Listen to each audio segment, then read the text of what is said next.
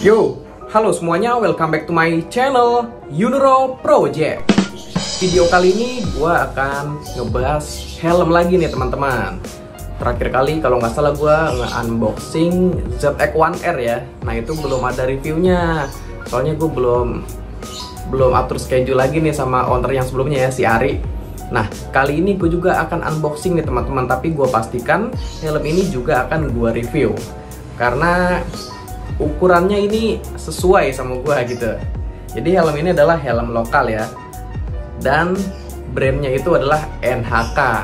Dan ini kepunyaan temen gua, si Hilal. Kalau teman-teman pernah nonton video gue sebelumnya yang quick review knalpot, nah ini helmnya juga milik temen gua.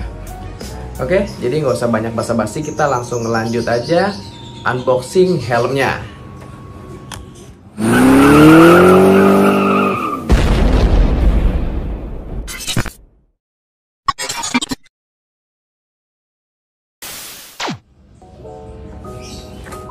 Ini dia helmnya NHK yang tipenya GP Artec Street ya teman-teman.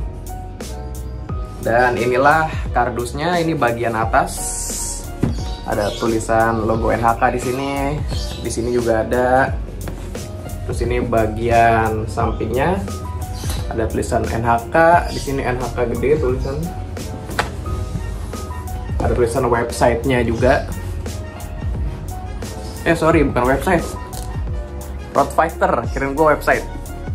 Perasaan ada tulisan websitenya deh. Oh ini websitenya nih. Nah terus di sini juga ada logo Pinlock nih teman-teman. Jadi helm ini kebetulan mungkin kerja sama sama Pinlock ya NHK ini. Jadi pembelian helm ini dapat juga anti fog merek Pinlock. Terus sisi sebelah sini jadi ya terusan dari yang bagian samping sini ya tulisan NH. Sebelah sininya kah tulisan K. Terus di sini ya ini cuman tempelan aja dari tokonya NHK GPR Tech Street yang motif undisputed warna hitam merah ukuran XL. Untuk lingkar kepala 60 sampai 61 cm. Terus ya bagian bolak-baliknya sama sih ya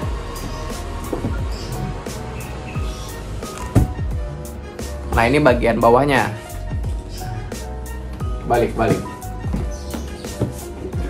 ada logo NHK di bawah dan di atas ini.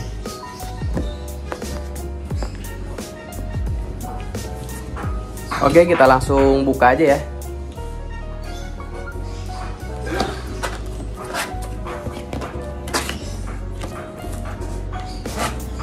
Wow, jadi ada ditutupin kardus lagi nih.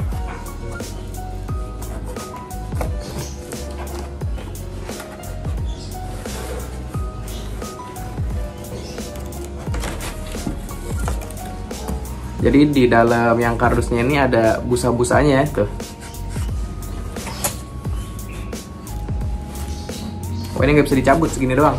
Jadi ini ada busanya di bagian kardus dalamnya di sini juga ada tuh jadi untuk melindungi kalau untuk misalkan ini pengiriman-pengiriman pakai paket gitu maksudnya beli via online gitu ya jadi helmnya aman banget sih nggak bakal goyang-goyang atau baret-baret ataupun patah gitu ya.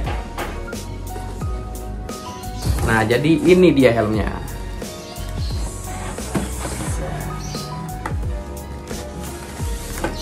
Gua taruh samping dulu. Eh kegeser gak?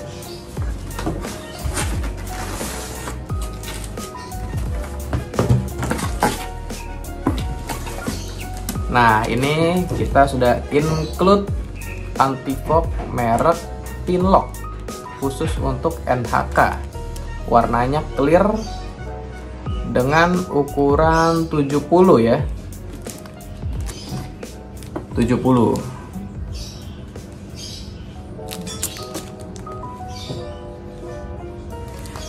Nah, kan ini helmnya Hilal itu beli di PRJ pas kita bareng-bareng ke PRJ waktu itu ya. Jadi waktu itu langsung di request antipoknya sekalian pasang aja lah biar nggak ribet gitu. Jadi antipoknya udah dipasang di sini sebenarnya. jadi nggak unboxing banget sih kayak re unboxing cuman kesannya masih unboxing kok soalnya ownernya pun belum ngebuka helmnya kecuali pas lagi di event PRJ kemarin pas lagi dicoba gitu ya mas jadi isinya nggak ada apa-apa cuman ini doang kosong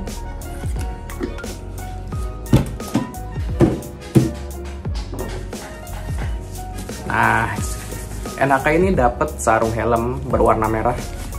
Ada tulisan NHK nya NHK Helmets.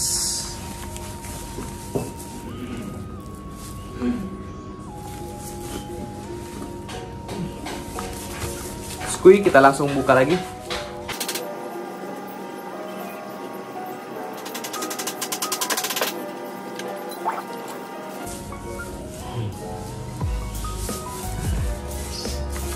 di dalam sarung helmnya kita dilapisi lagi dengan ini ya. Seperti foam tapi yang tipis.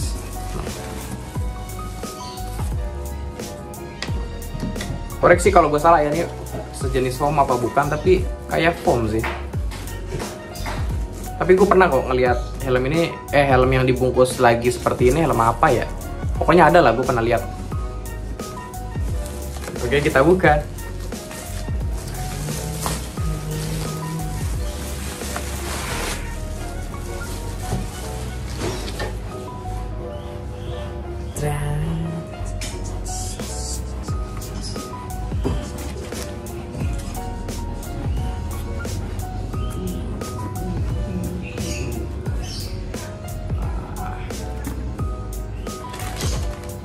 Nah, di sini ada sesuatu nih. Di sini NHK GPR Street Undisputed Black Red Glossy. Oh, ini ini apa namanya? buku panduan. Nih, buku panduan ya. Buku panduan doang nggak ada stiker-stiker nggak ada. Tok, buku panduan tok. Oke, jadi kita langsung ke helmnya ya. Jadi gua nggak detail ngebahas helmnya karena memang cuman unboxing aja uh, cuman unboxing aja. So gue cuman first impression aja first impression aja dan first look mengenai helm NHK GPR Tech Street yang motif undisputed black red. Jadi seperti ini detailnya teman-teman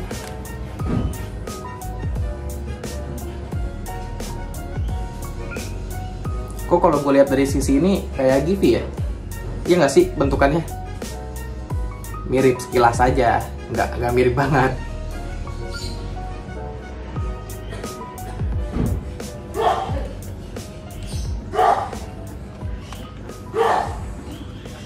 Untuk NHK GPR Tech Street ini adalah yang versi bukan versi sorry ini adalah replika balap ya teman-teman. Jadi pembalap-pembalap pada pakai ini cuman ini replikanya untuk perkotaan untuk daily lah.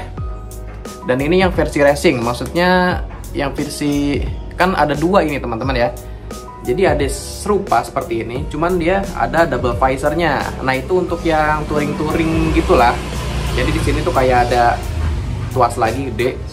Modelan NHK GP1000 koreksi kalau gue salah ya kemarin gue ngeliatnya sih kayak gitu cuman nggak segede itu. Maksudnya cara pengoperasiannya. Cuman kalau yang ini yang versi racing jadi tidak ada double visornya. Di sini ada tulisan NHK helmets di sini ada apa namanya? Fan. Di sini ada fan yang ditaruh di apa jidat gitu ya. Terus di sini ada dua fan lagi di bagian atas. Dan gue ngelihat fan atasnya ini looknya kok sedikit mirip seperti LS2 FF323 seperti helm itu ya. Karena gue pernah memiliki helm LS2 FF323 tapi ya sudah gue jual. Terus di belakangnya udah ada spoiler nih teman-teman. Ini spoiler bawaan ya. Duh ada yang lewat lagi sorry. Jadi tangting-tangting. Nah, ini ada spoiler. Jadi kalau untuk kalau untuk spoiler belakangnya ini tidak ada untuk pengoperasiannya ya. Jadi emang langsung kebuka aja.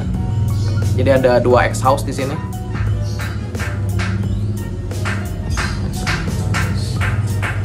Dan di bagian sini tentunya ada mode fan. Nah ini mode fannya. Gue suka sih bentuknya. Selain itu helm ini memiliki visor lock nih teman-teman. Ada visor locknya jadi sebenarnya helm ini tuh ada tiga warna. Teman-teman bisa lihat yang ini. Ini tuh warnanya abu-abu gelap gelap banget. Kalau dilihat sekilas tuh memang kayak hitam tapi ini abu-abu gelap. Abu-abu gelap banget lah pokoknya. Terus di sini ada warna hitam sama warna merah. Jadi ada tiga warna ya. Terus untuk visornya di sini sudah pakai flat visor si NHK GPR Tech Street ini. Kita coba lihat dalamnya ya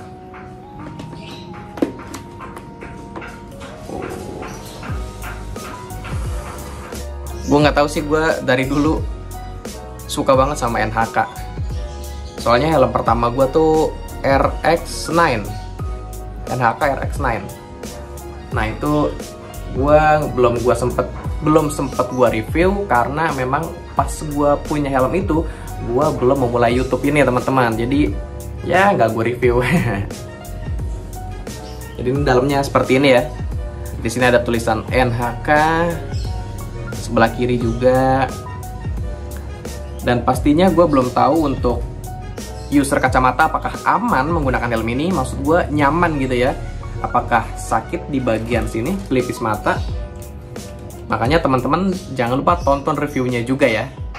Di sana akan gue jelaskan semuanya secara detail. Oke? Oh iya satu lagi. Jadi di helm NHK GPR Tech Street ini sudah include eh sudah include. Maksudnya ready untuk pemasangan intercom. Karena di bagian kanan kirinya ini di bagian dalam sini di bagian apa chickpad tengah-tengahnya itu emang ada disediakan seperti dua space bulat gitu untuk naruh speaker. Keren sih dan ditambah lagi tadi balik lagi ya sudah dipasang pinlock nih. Emang kelihatan agak kuning soalnya belum dibuka plastiknya masih dipasang ya. Pinlock ukuran 70 hmm. tapi ini hanya pinlock aja ya teman-teman. Ah bukan pinlock sorry. Kenapa gue nyebutnya pinlock mulu? Sebenarnya yang benar itu bukan pinlock anti fog pinlock itu adalah merek. Namanya itu anti fog nama barangnya dan pastinya karena sudah ada push pinnya ini bisa diganti sebenarnya ya. Mungkin pakai yang aftermarket yang double. Double tier of post. Tier of apa? Tier of post ya? Lupa gue tuh. Lama sih gue nggak ngebahas itu soalnya. Kebalik takutnya kebalik gitu. Tier of tier of post kalau nggak salah. Jadi tuh dia ada dua.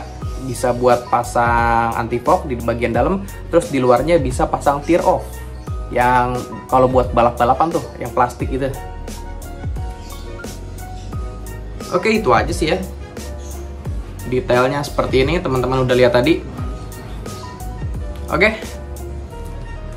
Kalau teman-teman penasaran sama helm ini gimana impresi pemakaiannya gimana untuk perjalanan berapa lama mungkin ya mungkin besok akan buat tes biasa lah ke Bogor ke Bogor soalnya gue akan memakan waktu sekitar 2 jaman. Itu kalau jalan malam.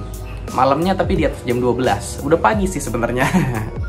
Ya tapi kalau gue ngetes helm memang seperti itu teman-teman. Impresi pemakaiannya seperti apa terus nyaman atau tidak berat atau tidak harganya berapa nanti akan gue bahas di video selanjutnya di review NHK GPR Tech Street ini oke? okay? Sebelumnya terima kasih buat teman-teman yang sudah menyempatkan waktunya untuk nonton video gue. Jika video ini bermanfaat, jangan lupa di like dan share. Terus kalau teman-teman punya masukan atau saran buat konten atau buat channel ini, bisa bantu di komen aja. Dan yang terakhir, jangan lupa di subscribe, karena subscribe itu gratis. Sama nyalain loncengnya juga nih, supaya teman-teman mendapatkan notifikasi terupdate kalau gue upload video terbaru. Atau teman-teman bisa juga follow Instagramnya di @yunoroproject. Karena sebelum gue upload ke YouTube, pasti akan gue informasikan atau gue posting dulu di Instagramnya. So, di Instagramnya nanti bakalan lebih up to date. Oke deh, gue rasa itu aja dulu ya. Sampai berjumpa di video seputar roda 2 dan aparel riding berikutnya. Thank you semuanya.